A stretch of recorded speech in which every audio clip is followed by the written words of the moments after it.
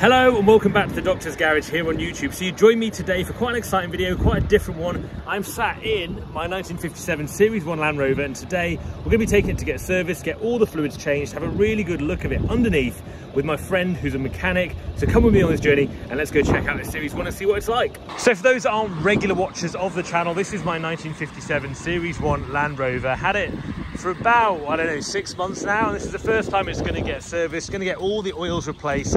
I'm not a mechanical expert by any means, so I'm going to take a look at it um, with my friend who's a mechanic over at the Mini Repair Shop. They do Minis, BMWs, but also classic cars like this and any other vehicle really in between. So go check them out in the link in my description below this video. Um, it's driving well this morning. Seems like a very nice day to be out in it. I don't know why I put the Fox sticker on there. I think that's people are going to really hate me for that. That point needs to come off. But that's from the Fox Shocks on my Defender that I got that sticker. But come with me today. Let's go take this to get serviced and take a really good look underneath it.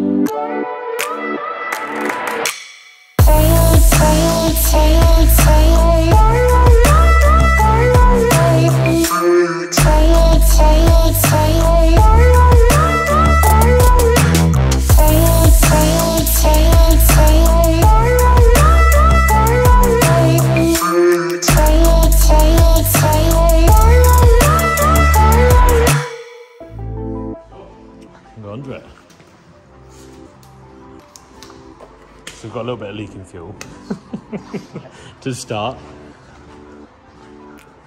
Let's have a look. So there's quite a few bits that have been changed on it. Like um, some of these are engine wise. He has done a few bits, I think, previously, the owner.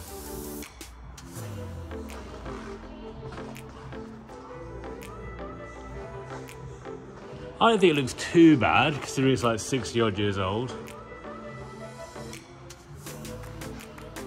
Do you think it looks bad? yeah.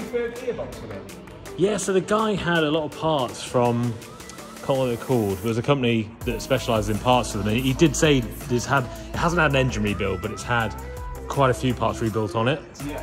Because the gearbox looks quite, I think it looks quite, it looks different, doesn't it? It looks, Yeah. Even the engine. Is the engine a refurb? It's an original, but I think it's got a lot of Yeah. a lot of parts that have been refitted on it.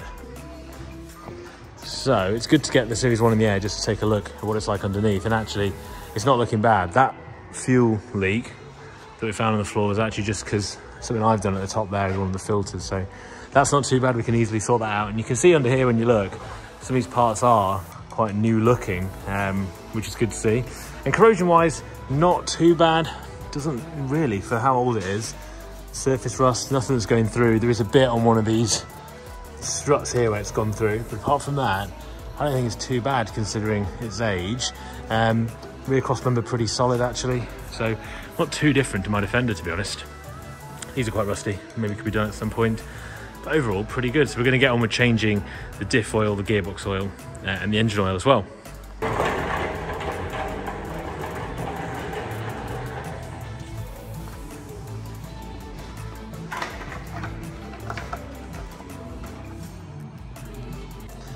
So we drained the diff oil at the front and actually it was pretty clear, looked pretty good, car reckoned it was pretty new. So we know not much of an issue there really, but I wanted to get it done anyway, didn't know what was in it. So we've done that, very clear, very good. Go to the back one now and have a look and see if that looks similar. I'll show you on video the back one coming out just so you can see the colour of it and what it looks like. But it looked like it's been quite well looked after to be honest so far, which is a, a good sign.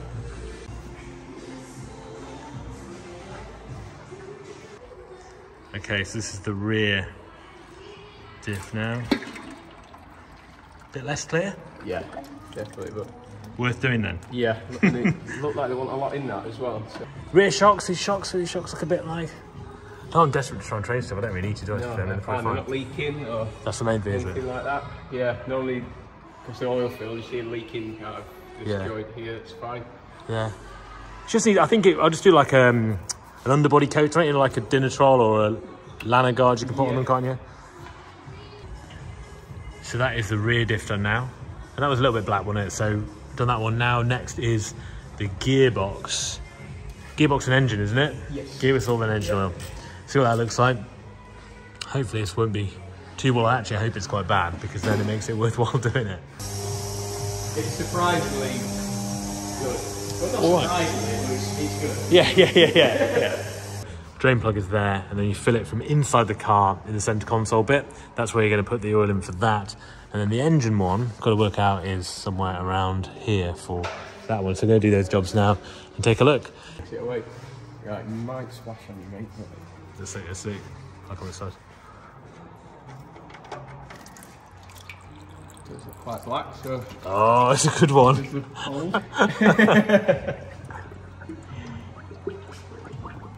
there's the hole. What do you think? It does, to be fair, it does. Well worth changing, I'd say.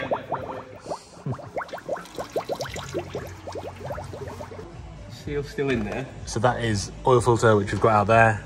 Looks pretty filthy that you can see. Just there.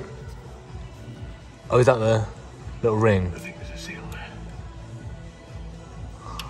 We are, we are It's not easy to do this on a driveway, is it? No, a lot of people are like, all. oh, do it on your driveway, it's fine, you shouldn't need it. Uh. So. You get covered in it, it'd be like face.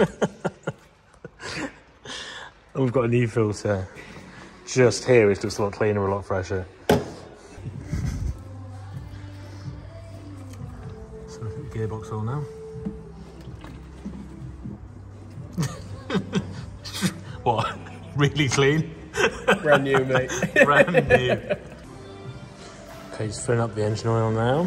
Put in, I think, I think we've put in about three and a half litres now. I can hear it, but this dry dipstick is still completely dry, so I'm not really sure how much it's going to take.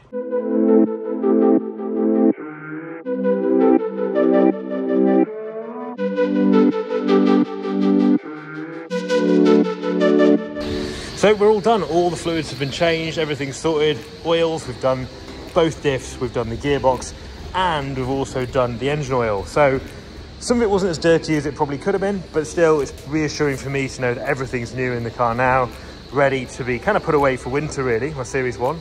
And uh, next project's going to be to sort out this wheel and tire situation because there's a few splits on here.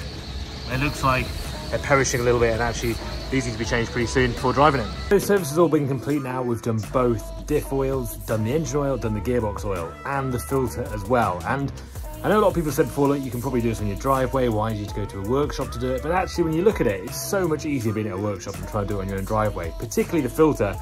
I don't really know how you'd get that out without getting absolutely covered in oil if you were trying to do it at home. But anyway, hope you enjoyed the video. Hope it was interesting about the Series 1 and getting it serviced, the progress of it so far. If you haven't already, go check out the mini repair shop in the description below. If you live near Lincoln, great garage to get stuff done to your cars, whether that is your Defender, your Land Rover, or something like your Mini or your BMW, which these guys specialise in. They used to work at the main dealers for many, many years, so really experienced um, mechanics. So uh, go check them out. And thanks for watching the video, and I'll see you guys in the next one.